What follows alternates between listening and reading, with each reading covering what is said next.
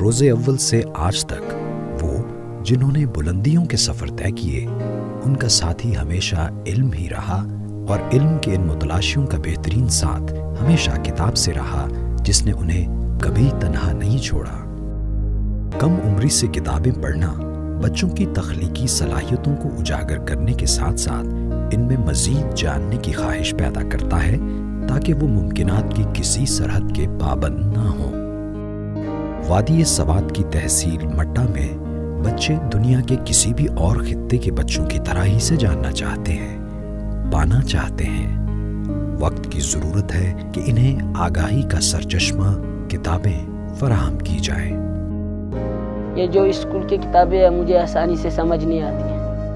میں وہی پڑھتا ہوں جہاں سے میں پاس ہو جاؤں کیونکہ امتحانوں میں صرف پاس ہی ہونا ہوتی ہے۔ میں جب بھی پہلے کتاب کو کھولتی تھی تو مجھے نیند آنے لگتی تھی۔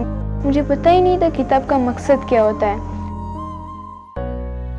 دو ہزار بارہ سے دو ہزار تیرہ میں اسی مقصد کے تحت ریلیف پاکستان نے عالمی ترقی کی امریکی ایجنسی یو ایس ایڈ کے small grants and ambassadors fund programme کی معاونت سے پاکستان سکولز لائبریری انیشیٹو یا پی ایس ایل آئی کا انعقاد کیا۔ بچوں کو چھوٹی عمر میں کتابیں پڑھنے کی عادت ڈالنے کے لیے ضروری تھا کہ انہیں کتابیں فراہم کی جائیں اور پڑھنے میں ان کی حوصلہ افزائی کی جائے۔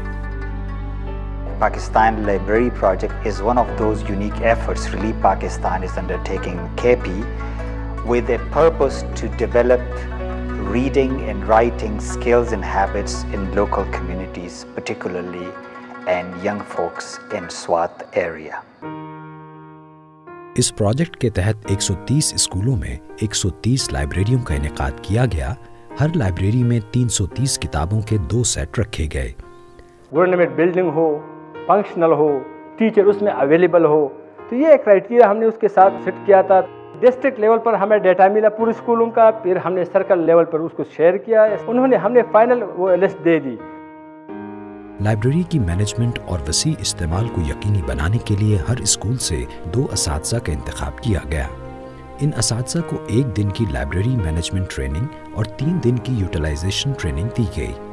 اس طرح لائبریری کی تکمیل تک دو سو ساٹھ اساتذہ کو ان لائبریریوں کے استعمال میں باصلاحیت بنایا جا چکا تھا۔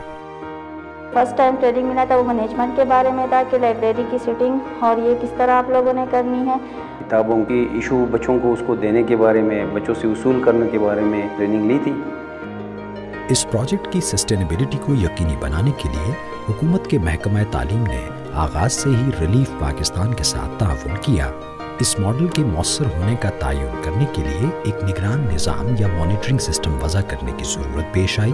ایک غیر جانبدار تنظیم کو اس مقصد کے لیے مصروف عمل کیا گیا۔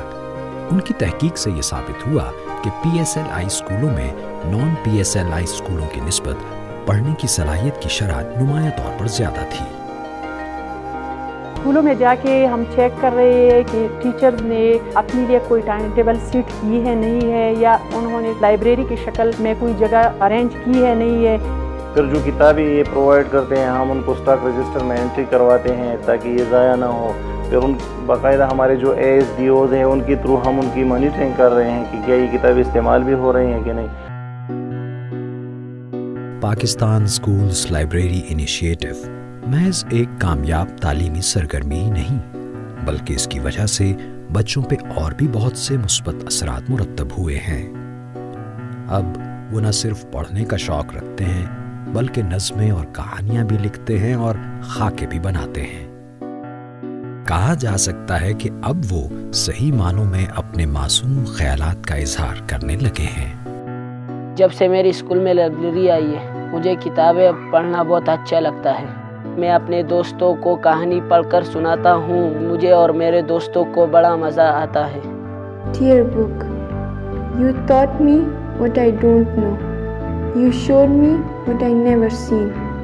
You guide me when I was ignorant. You give me light when there was dark. Without you, I was incomplete. You made me perfect, my dear book. This project has gone beyond our expectations. more children than what we expected in each schools are participating more teachers are participating in this program so overall it's a hugely impressive program